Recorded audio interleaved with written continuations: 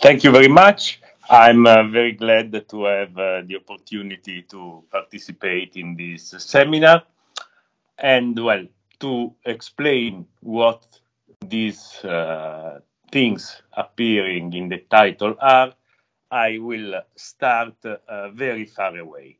I will start with an old theorem of Tango, which goes back to 1974. In that period, uh, Tango was working, uh, his aim was to construct indecomposable vector bundles of, low rank on the projective space. Well, he succeeded. He, he constructed the so-called Tango bundles. But uh, in, in his uh, work towards the construction of these bundles, he studied uh, morphisms from the projective space to the Grassmannian, uh, to a Grassmannian. And I'm uh, interested not in the morphism, uh, well, when you have morphisms, but in a result which says that under certain assumptions you don't. And which is this theorem which says that if you take a projective space, PM, and any Grassmannian uh, are using the projective notation. So my GRN is r-dimensional linear spaces in Pn. And so if you take any Grassmannian of another projective space of smaller dimension, then there is no way to map PM to this Grassmannian except uh, the trivial uh, cases of the constant morphisms. and I will also uh, have a look at the proof of this result because, well, it's inspiring in uh, many ways. Well, the proof is, is, not, uh, is not difficult. We just consider the incidence variety of points and linear spaces. This variety as a projective bundle structure over the Grassmannian. This is the projectivization of a well-known bundle on the Grassmannian, which is called the universal quotient bundle. Well, we know everything about this bundle. In particular, uh, I want to mention that its first Chern class is the ample generator of the Picard group of the Grassmannian. And uh, there is an exact sequence in which uh, this bundle sits with a trivial bundle in the middle. And there is another bundle S, which is called the universal subbundle, but well, it's not that important uh, uh, who these bundles are, except for the, the thing that I said about the determinant of Q. So you have this sequence on the Grassmannian, and from the fact that this sequence is, is exact, you can uh, compute the Chern polynomial of the guy in the middle as the product of the Chern polynomials of the other two guys. So you get this uh, equality of Chern polynomials. And well, the idea is that you pull back the bundles and you get a similar uh, equality in the projective space. So assume you have a morphism from the projective space, uh, pull back the bundles, pull back the Chern classes. Well, when you pull back uh, the Chern classes, the, the Chow ring of PM is very simple. Everything in codimension I is a multiple of the hyperplane, hyperplane class to the I. So you get just uh, a number times uh, the um, correct power of the hyperplane class. So you do this for the two bundles, then you have the same relation. You, uh, you write the same relation, and what you get is an equality of polynomials on which on one side you have one, and on the other side you have polynomial like this. I'm calling d and d the maximum integers for which the pullback is non-zero. And now uh, the assumption uh, kicks in because this d plus e is uh, smaller or equal uh, than m by our assumption. So this is not zero. It cannot be zero because you are taking too many uh, hyperplane classes. And so the only way, I mean, um, is that this d plus e is zero because uh, this was the minimum, uh, uh, the minimum degree which appears, and so it has to be zero. And this means that the pullback of all the Chern classes of the two bundles are zero. In particular, if you take the first Chern class of Q, you are looking at the pullback of the hyperplane in the Plücker embedding. And you're saying that this pullback is trivial. So the map is constant. Um, okay, so what was the uh, fortune of this theorem? Well, this theorem uh, found uh, another application in the theory of uh, vector bundles a few years later. And this was done by Sato. Sato studied uh, uniform vector bundles on the projective space. Uh, what does it mean for a bundle to be uniform? Well, you take the restriction to the bundle uh, to a line. On a line, the bundle splits as a sum of line bundles. If the degrees of these line bundles are the same for every line, you call the bundle uniform. And, uh, well, the, there weren't uh, examples of uniform bundles of low rank on the projective space. The first non-trivial one was the tangent. And Sato showed that, well, there is a good reason for, for that because if you take a uniform bundle with rank smaller than the dimension of the projective space, then you, you, what you get is a direct sum of line bundles. Okay, what is the relation of this with the theorem of Tango? It's in the idea of proof uh, of Sato. Okay, so first of all, we can rearrange our bundle. So our bundle is uniform. The splitting type is the same on every line. We can uh, dualize, dualize and twist and rearrange the splitting type in a way that the first uh, degrees are zero and then they are increasing. And the idea is that the zero part, okay, so let me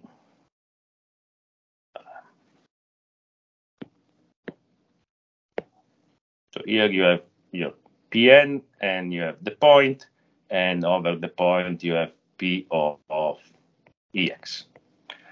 Uh, you take a line. On this line, uh, well, you have the projectivization of the bundle, but in particular, you can identify the projectivization of the sections corresponding to the zero summands. So there is there are some zero sections which are cutting a linear subspace here. Then you take another line and you are cutting another uh, subspace. Well, another of the same. This is the point. In this way, uh, you can associate to the set of lines passing by x, this Pn minus 1 are the lines by x. Uh, to every line, you can associate a subspace of the projectivization of the bundle over the point. And you get a map from a projective space to a Grassmannian. Well, if your bundle is decomposable, the situation is not the one in the picture, but uh, you have the the sections corresponding to the trivial summands, and for every line, you always get the same space. So a necessary condition for the bundle to be decomposable is that uh, this map uh, this map is constant. And somehow uh, Sato managed to show that under the assumption on the rank, it is also enough to prove that this map is constant. So now the, the result of Tango kicked in uh, to uh, uh, to um, get the, the composability. Okay, and well, this was uh, why uh, Tango's theorem uh, had a lot of follow-up because people started to study uh, uniform vector bundles on other varieties. So uniform vector bundle on a quadric hypersurface. If you want to uh, follow the path of Sato, you have to take the variety parametrizing lines by a point, which in this case is a quadric, and study a morphism from the quadric to a Grassmannian. If you change the variety, I mean, you have to study uh, from the varieties of, varieties of lines by a point to a Grassmannian. So uh, people try to prove tango type theorems for other varieties. But what is the idea uh, that we have seen in the proof that can be uh, uh, generalized to other varieties? Well, uh, why the proof works? Because we find in the Chow ring of the Grassmannian some zero divisors, we pull them back, and we don't have uh, zero divisors in the Chow ring of the projective space. This is, in a nutshell, the idea of Tango's proof. And well, there were many papers uh, on quadrics, Kachi and Sato, Grassmannians, uh, Guyot, uh, other Fano manifolds, for instance, Hermitian symmetric spaces. I, I did that with um, Roberto Muñoz and Luis Solá Conde. And here I have to apologize, I didn't say it at the beginning. What I'm presenting is a joint work with them, so Roberto Muñoz, which is at the Univers Universitat Politécnica de Madrid, and Luis Solá Conde, which is here in Trento. Okay, but there were these uh, scattered results, and somehow they were summarized with this uh, definition and consequ consequ uh, as a consequence the theorem given by Pan, uh, which uh, gave this definition of good divisibility up to some degree, which says essentially that a variety has good divisibility up to a degree S if it doesn't have zero divisors which uh, would degree add up to this uh, degree. And okay, and then you just use Tango's proof and you get uh, if a variety satisfies uh, as good divisibility big enough, then you just use the same proof to prove that there are no morphisms to Grassmannians. Uh, okay, this is good, but it's not the best possible solution uh, because, well, you can we can try to understand it looking at quadrics. If we take, so what is the good divisibility of quadrics? It, it's uh, very different in the case of uh, odd, oops, what happened? Of, uh, in, sorry, this is not very good, in the odd case and in the even case. Because in the odd case, um, all the Chow groups are one-dimensional. The cohomology is basically the same as the, the one of the projective space. So the good divisibility is the dimension. But when you look, you look at an even dimensional quadric, uh, there all the Chow, groups are one-dimensional except for the middle one. The middle one is generated uh, uh, by uh, two um, linear subspaces uh, of dimension enough. You can think of Q4, which is G13, and you have the two different kind of planes, the one parameterizing lines by a point, the one parameterizing lines in a plane. You have two different families of planes. Or in general, two different families of linear spaces of dimension, half of the dimension of the quadric and they they, they uh, are different. They have they determine different classes in the Chow ring. But if you take the difference and you cut it with an hyperplane, you get two linear spaces of dimension one less. But in dimension one less, all the linear spaces are equal. So you get this. Uh, you get this uh, this equality. So you have something of codimension one and something of codimension uh, m over two. The product is zero. So you are good only uh, up to m over two which is a big difference. But the behavior of quadrics, well, it's hard to believe that the behavior is going to be that different. And in fact, uh, also for even dimensional quadrics, the, the, bound is very similar to the one uh, for odd dimensional quadrics. This was the result of Kachi-Sato.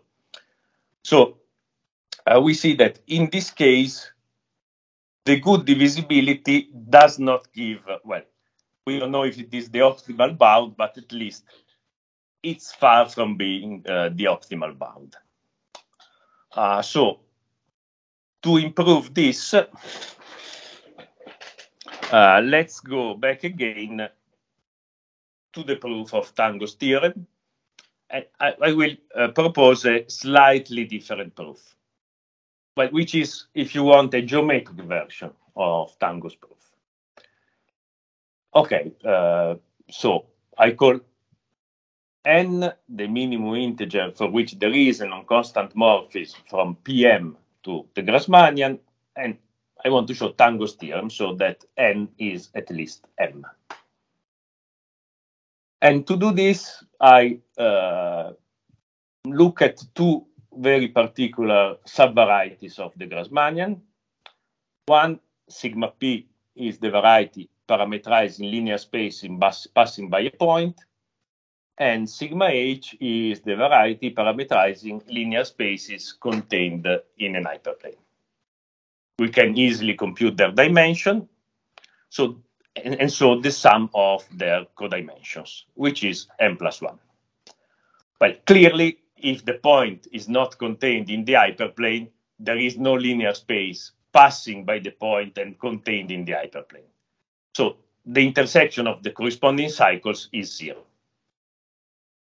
Well, this is not very different from Tango because these two cycles are the top Chern classes of the bundles of Tango. But I, am I'm, I'm not looking at the vector bundle, I'm just looking at these subvarieties. Okay, uh, pull them back, write the pullback as a multiple of the suitable power of the hyperplane. I reported I have this product which is zero. In our assumption, h to the n plus 1 is not zero. So either a is zero, so the pullback of sigma p is zero, or B is zero and the pullback of sigma h is zero. This means that the image of the projective space in the Grassmannian, which I called M prime, either does not contain points, uh, does not meet sigma p or does not meet sigma h. Well, up to uh, duality in Pn, the, the two things are the same. So let me assume that uh, it does not contain uh, linear spaces passing by P. And okay, so we have our, our point P, an hyperplane. I have linear a linear space not passing by P. I can do a linear projection and send it to a linear space contained in an hyperplane. And this is a map which is Oh, in the Grassmannian is a rational map. It's not defined in the linear spaces passing by P. But the image of our map does not meet this indeterminacy locus. So we get a well-defined map from the projective space to a smaller Grassmannian. And the fiber of this map are affine spaces. So if this map is constant, the other map is constant. And this is constant because we assume that n was the minimal integer for which we had a non-constant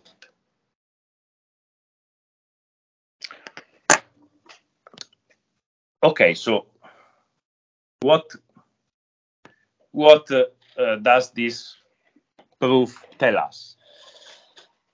Well, what we did was uh, we take the pullback of two effective Schubert cycles in the Grassmannians, the sigma p and the sigma h, uh, disjoint.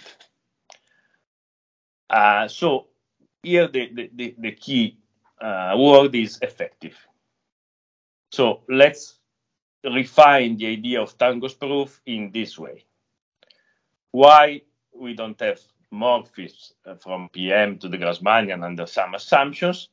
Because we can find effective zero divisors in the Grassmannian and pull it back to the projective space, and there there are no effective zero divisors. Being in a Grassmannian on which there is a, a group which acts transitively, uh, zero product of effective cycles means that you can find disjoint representatives. You, you, can move the cycles with the action of the group. So you can you can think of I, I have two disjoint cycles and I pull them back. Two effective disjoint cycles uh, and I pull them back.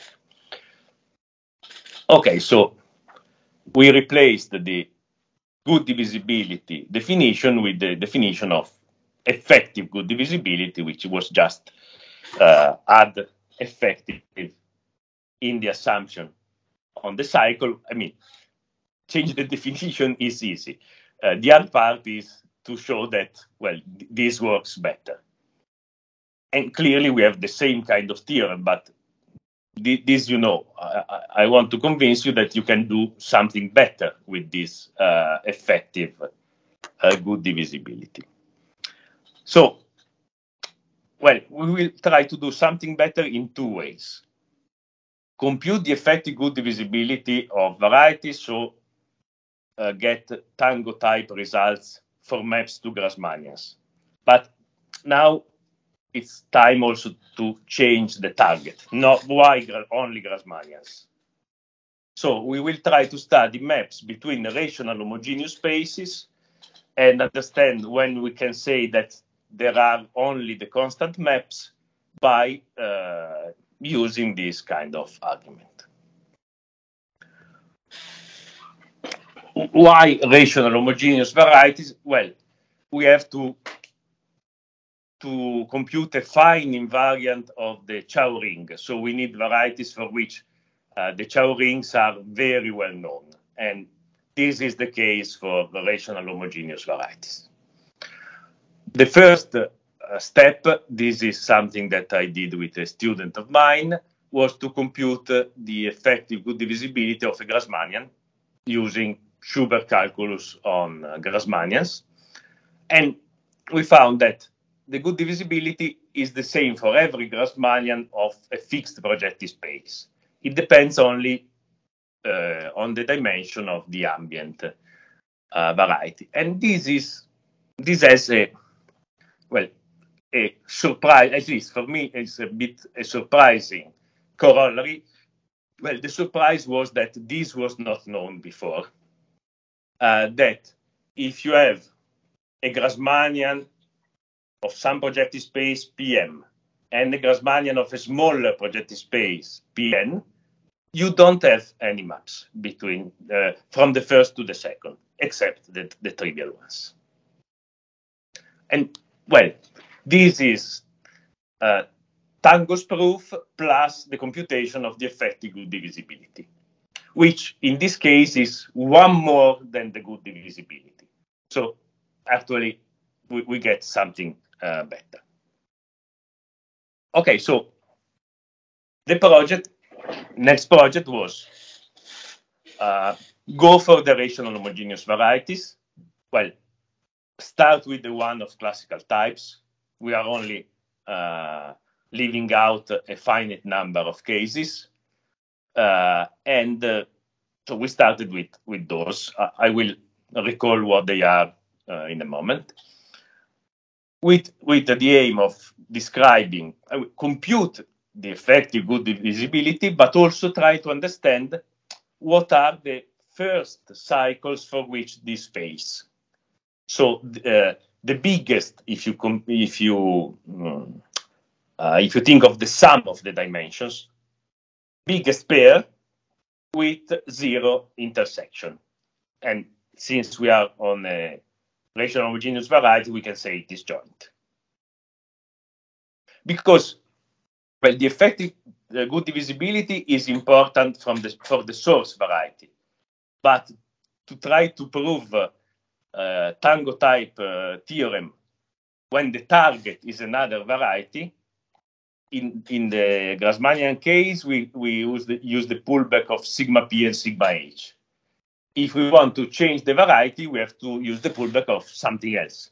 So we, we need also to understand what are the guys that we can pull back uh, to get bounds. So this is what a maximal disjoint pair is.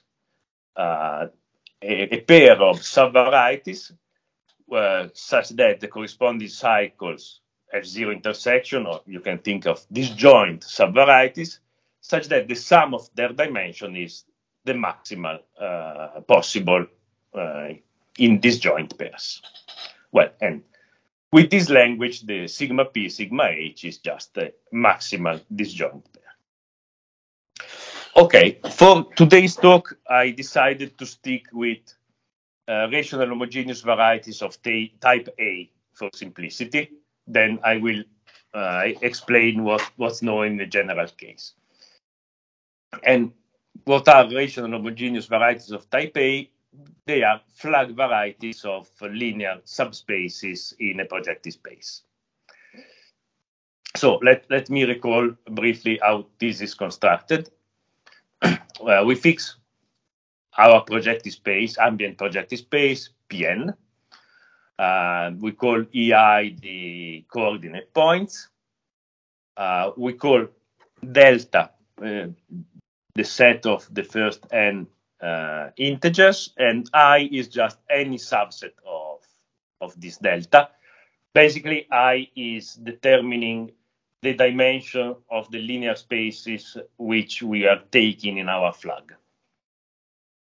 So uh, we, we construct these uh, linear spaces which have dimension uh, ai minus 1. W what I want to say is that when you choose a subset of delta, you, you are choosing the type of flag that you want to consider. And you can choose any sub any empty subset and you will have a type of flag and then a variety of those flags. Okay, so you you you have your fixed uh, flag constructed with the coordinate points. Uh, there is an action of the group PGN, PGL n plus one on these kind of flags, which is transitive. Uh, you take the stabilizer of uh, the flag, is the what is called the parabolic subgroup, which are matrices of a certain shape and you take the quotient. The quotient is the uh, rational homogeneous variety which parameterize uh, flags with the dimension uh, dimensions determined by the, the, the set of indexes that you chose. So for every i, you can do this construction. And for every i, the uh, corresponding flag variety. And um, my notation is this. I will convince you in a moment that it is a very good notation. Uh, so um, I'm, I'm just then basically I'm putting the AN uh, means we are considering uh, flags in a projective space and the I is saying what kind of flags we are considering. Well, for every i, this is a and the Picard number is the cardinality of the set that you chose. And uh, if you take two subsets, one containing the other, you have a smooth fibration. Well, map is easy to understand. You just forget some of the linear space. You have a long flag and you map it to a shorter flag by uh, forgetting some of the linear spaces. But also the maps, the, the, the, sorry, the fibers of the map are flag varieties or products of flag varieties. I, I will have a, an example in a moment. And well, if you will take every possible dimension, so we are taking so-called full flags of linear subspaces, then the stabilizer is what is called the Borel subgroup. These are the upper triangular matrices, and the corresponding variety is the variety of complete flags. Okay, so for n equal to 3, um, these are the possibilities, and there is a way to represent the variety because uh, uh, we take the Dynkin diagram of the Lie algebra of the group, which is the diagram of type AN. This is why these are called AN something. And you have to choose some set of nodes. So A31 are points in P3, P3. A32 lines in P3, G13. A33 planes in P3, the dual, and so on. And when you mark all the nodes, you have the so-called uh, complete variety of complete flags. And the diagrams are useful to understand the, the fibers. So, for instance, if I take the full, well, the full flag and I'm mapping it to P3, the way to understand what the fibers are are look at the nodes which are marked in both, this one, take it out from the upper diagram, and I'm left with this. These are the fibers. So in this case is a complete flag of type A2. But, well, you can have something uh, disconnected. So let me put more nodes. And say you go to any subset you go to this one. Okay, so we have to take out this, and we are left with a disconnected diagram like this. Disconnected diagram means that we have a product. This is just P1, and this is A2, uh, 1, 2, a full flag variety. Okay. Good. So what is uh, our result? Well, that for every flag variety of the projective space Pn, regardless of the type of uh, the flag that you choose, the effective good divisibility is always the same, and it is n. But let me give a rough idea of the proof these projections that we considered are important because they uh, induce injections of the Chow groups. And then, uh, I mean, if you have two zero divisors here, these are injections, you, you will get two zero divisors here. Effective and effective because you pull them back via fibration. So we have uh, kind of inequalities. So we want to show that this first guy is at least n, and here, well, we can add the smaller possible guy is take just one index and we will show that this is smaller or equal than Then for any guy in the picture, the effective uh, divisibility, effective uh, good divisibility is going to be the same. Well, the second part, the, the Picard number one guys, is easy. Well, actually, we already did it. What are the flag varieties of Picard number one? Are the Grassmannians and we already uh, showed that the effective good divisibility is at most n, because we produced a pair of cycles for which the sum of the codimension is n plus 1, which have zero product. Okay, so this was the easy part.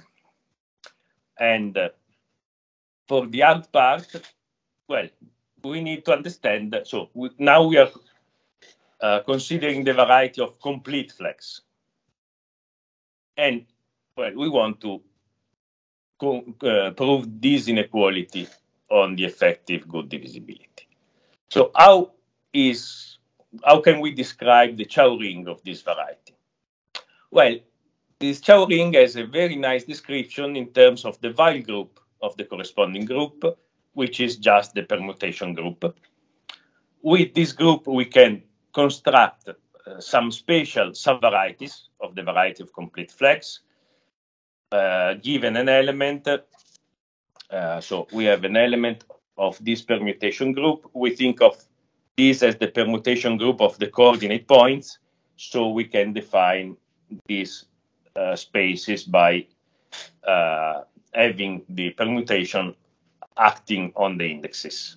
So we, we construct some some flag associated to uh, to the element, and then we we use the action of the group, well, the action of the, the, the parabolic, to move it, and in this way we construct a subvariety.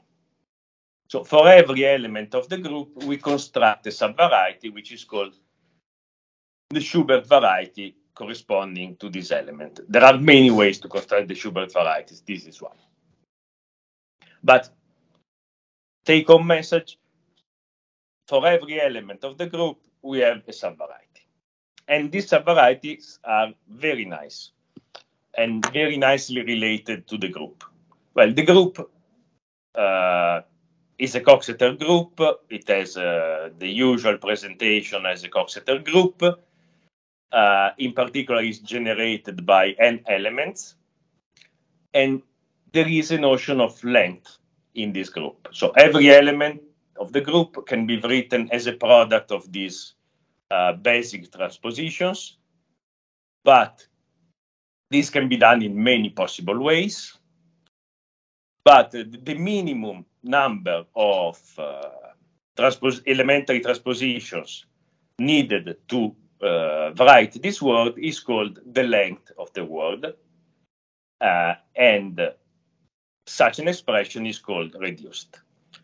The, the very nice thing is that, that the dimension of the Schubert variety is the length of the corresponding element of the group. And well, uh, if we want, we want to write the codimension rather than the dimension. And this is done by using the longest element of the Weyl group. Every Weyl group has a longest element. The length is equal to the dimension of the variety of complete flags. If we take the corresponding Schubert variety, we will get the whole variety. And the codimension can be written as the length of the longest minus the length of our word, and this is uh, the length of the product. So we can write the code, also the codimension in a very nice way in terms of the group. And why are Schubert varieties uh, very good for our problem? Because if we take the corresponding cycles in the Chow ring, well, they are a basis of the Chow ring, but more than this, they are uh, a basis for the effective classes. So every effective classes, class is a combination of Schubert cycles with non-negative coefficients. And when we take the product of two Schubert cycles, then we have a sum of Schubert cycles with non-negative coefficients. Putting these three things together is saying you can test the effective good divisibility considering only Schubert cycles, not any effective cycle it's enough to take Schubert cycles. And what you have to prove is that, in our case, that the product is different from zero if the sum of the codimension is uh, at most n. And,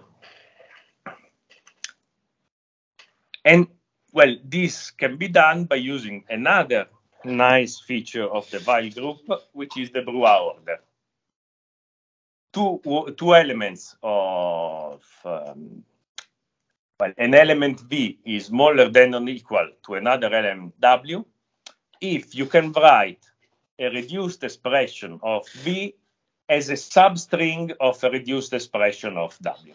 So you can write V and W in many ways, but if you find a way to write V and W such that what you see in V is part of what you see in W, then you have this, uh, you define this uh, relation. And this has a very nice counterpart in terms of intersections of Schubert varieties, namely two Schubert varieties. Well, I have to write here with the W0V, but it's the same. Every word can be written as W0V, so it's not uh, relevant. This product is not zero if and only if the corresponding words are related by the Bruhat order. So our thesis uh, on the good divisibility can be rephrased as uh, a statement to prove about the elements of the Weyl group and the Bruhat order. So the, the, geometric problem became a completely, completely algebraic problem on these uh, groups. Uh, so, um, well, just uh, no, I, I'm running a bit late, so I will skip this waving and so how it's done uh, this uh, this part, the, the, final part of the proof. But I think the very interesting part is that the, the geometric problem can be completely translated into an algebraic problem and then well solved by algebraic means. So I'm skipping this part and because I want to say what what is uh, what we did in general. So I spoke about AN varieties, which are flags of linear subspaces of Pn.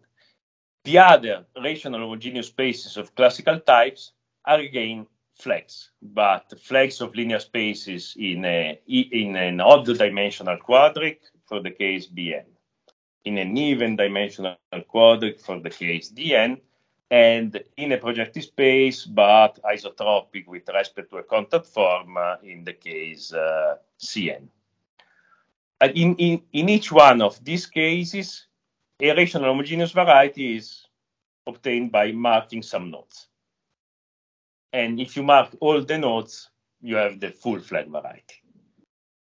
Uh, so, I mean, the first one is points in Qn, the second is lines, the, the third, and so on. And if you mark more, you, are uh, taking flags. And the, and here, these are uh, the results. We computed the effective good divisibility. The first one is the complete flag manifold. Well, we got some numbers, which are strangely related to the Coxeter number of the Dynkin diagram, but we didn't find a direct relation. It's just some observation. And for the other varieties, well, in cases A, B, C, the effective good divisibility is the same for every variety.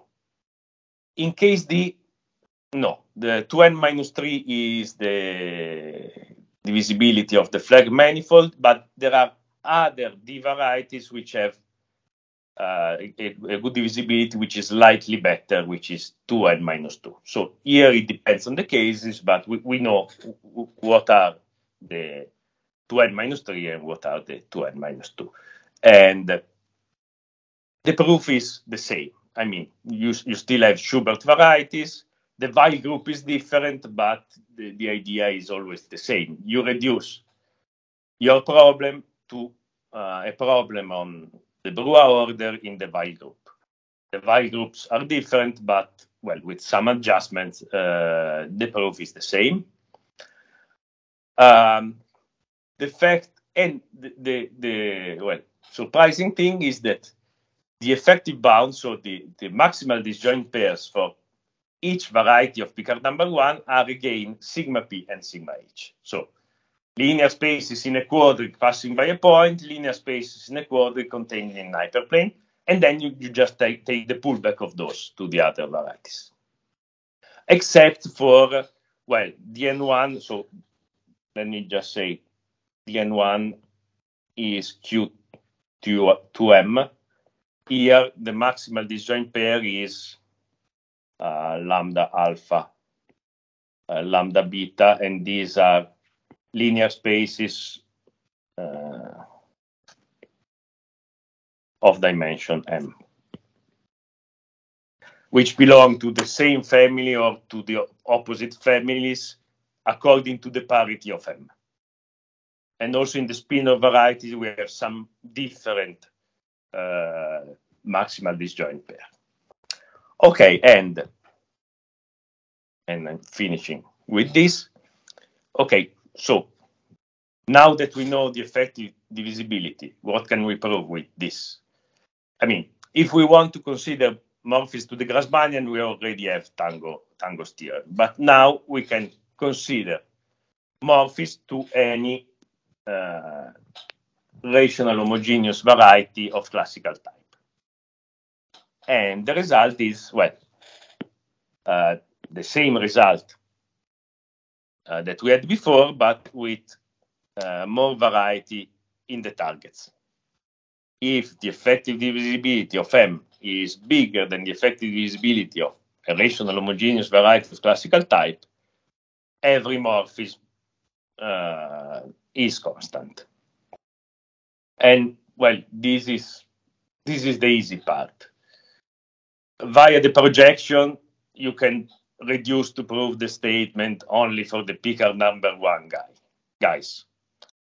Uh, in the case again, this was the uh, alternative proof of the theorem of Tango. In uh, the other cases, you adapt the alternative proof of uh, the theorem of Tango. And if we pick rational, well, sort of, sort of summary of this when dealing with rational homogeneous variety, if I take any diagram, so let me take this D diagram and a sub diagram. So for I can take here just this because I'm taking out this, or I can also take an AN diagram by taking out this. So these are two subdiagrams. And I'm saying that if I choose any variety of the big diagram or and any variety of the smaller diagram, there are no uh, non-constant morphisms. In particular, well, in this statement, there is the theorem of Tango, the theorem of Grassmannian. This is a compact form of summarizing uh, the known uh, theorems. Okay, I think I stop here.